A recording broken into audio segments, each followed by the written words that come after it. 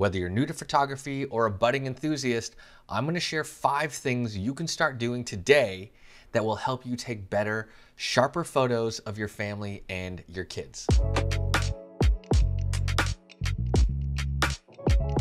Hey everyone, my name is Desmond and this channel is for any parent that wants to take better photos, shoot better videos, and create lasting family memories.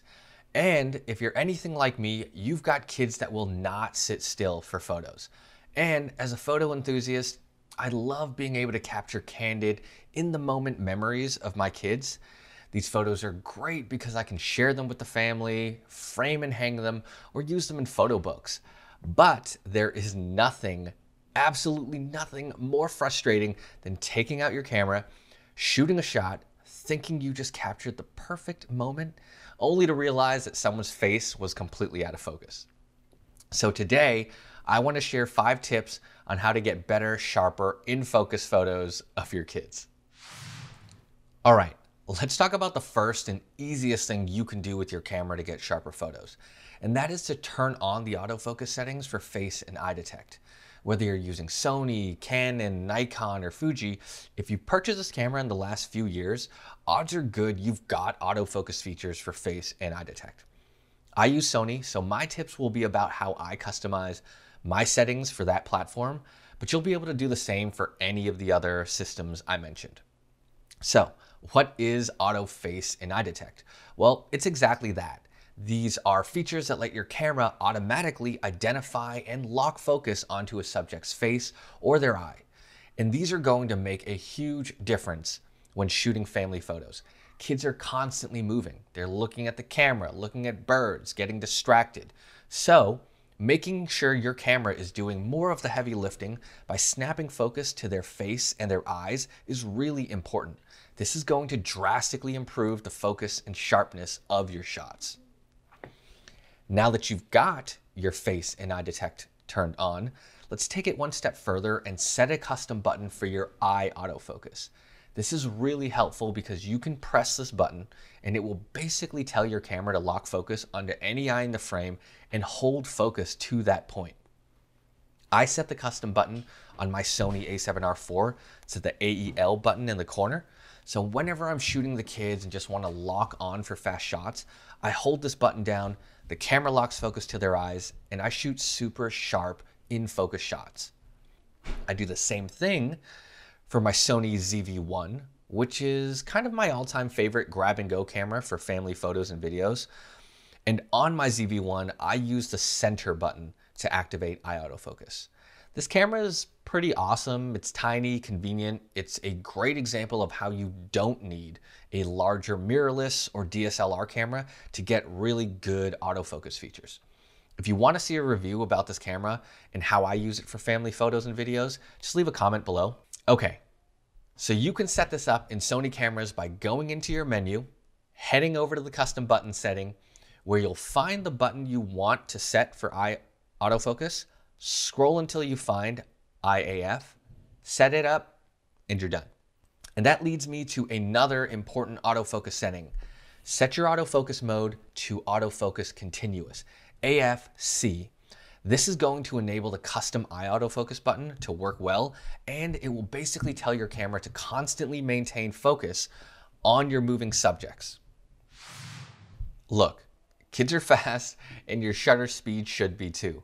Uh, they don't wait for focus. They don't pose for more than a split second. And getting the right candid moment means you need to be fast. So for me, I like to shoot with a shutter speed of at least 1 60th of a second to make sure I can capture the right moment even when the subjects are moving. So while the kids are playing, running, squirming, or just being kids, faster shutter speeds will help you get those moments and keep them sharp and in focus. Now, this is pretty easy to put into practice when you're shooting outdoors. I like to shoot at the lowest native ISO when possible. So when I'm outside, I'm usually shooting at like 100 ISO uh, and at or close to my wide open aperture. That usually means I can dial my shutter speed up quite a bit to get the exposure I want. But what if you're shooting indoors in dimly lit situations or at night? Well, that's when I use one of my wider aperture lenses, like a 1.8 prime or even a 2.8 zoom, and then I rely more on my ISO. I try to keep my shutter speed, again, at around 160th of a second, and then I dial up my ISO to get the right exposure. And how high you turn up your ISO really depends on a few things, right? One, the lighting situation. How much do you have to compensate for indoor lighting or nighttime? Two, the dynamic range of your camera. So let's talk about how much detail in the highlights and shadows your camera captures and how much you can actually recover in post with software like Lightroom. And then there's the low light capabilities of your camera. So cameras like the a7S III are incredible at low light performance, while others may bring in more noise as you dial up your ISO. So these are things you'll just get more comfortable with as you shoot more. And here's an example in the shot. It's around 8 p.m. The kids are getting ready for bed with the story, and we have one bedroom light on. So I'm shooting at 1 60th of a second with my ISO boosted to 4000 and an aperture of 2.2 to get both the kids in focus. And I think this shot turned out great. With some minor adjustments, I was able to bring back all the detail and character of the shot in Lightroom.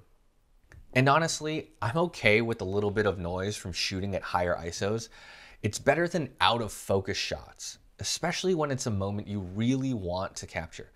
And I think noise adds a lot of character to those in the moment photos. I set this as the default shooting mode for my main camera, the a7R IV. The continuous shooting mode is a feature that allows multiple photographs to be taken within a short time frame and in rapid succession. So basically it's rapid fire for your camera. This one has been a game changer for me. So I highly recommend changing your shooting mode to continuous. This is great for getting those action shots of kids playing, running, or again, just being kids. They do not sit still, ever. So with continuous shooting, and faster shutter speeds, you can get the perfect moment and all the moments in between, giving you more options. This has really increased the number of perfect in the moment shots that I get. And again, with your camera, you don't have to have your continuous shooting mode set to the highest possible speeds. I set mine at high, which is about 8 frames per second on the a7R IV. There's a high plus mode that shoots 10 frames per second. I use a much slower setting on my ZV-1, which on its fastest continuous shooting mode is like 24 shots per second because it has an electronic shutter, and that is crazy fast. I do not need that many photos, so I set it a little bit lower. And here's an example of how I use the continuous shooting mode on my camera. I lock on with the eye autofocus button, and when the moment's right, I hit the shutter button a few times for about half a second each, and of the photos I shoot, I'm pretty confident there's a keeper in there somewhere. Don't we know our homes well enough after all the sheltering in place? What I really mean is if you're shooting in manual mode, which I highly recommend you do, get familiar with your home and the go-to settings like shutter speed, ISO, and aperture for all the different lighting situations in your house. I mean, this is where we've been spending most of our time and it's where a lot of our family memories are being made right now. So think about the different situations around your house. Is there a lot of natural light in your living room? Are the bedroom lights a bit too dim? Does the kitchen get a ton of light in the afternoon? Kind of like mine. Get familiar with the settings you'd like to dial in if you had to just grab your camera, shoot one of those rare family moments. This is especially useful at night because as much as I love my iPhone, shooting in low light with a fast enough shutter speed to capture those moving kids, it does not do well, in my opinion. So sometimes you need to grab your camera and dial in the right settings for a certain room in your house at a certain time of day just to get the shot you want. So practice shooting photos around your house during different times. I mean, we've clearly got the time.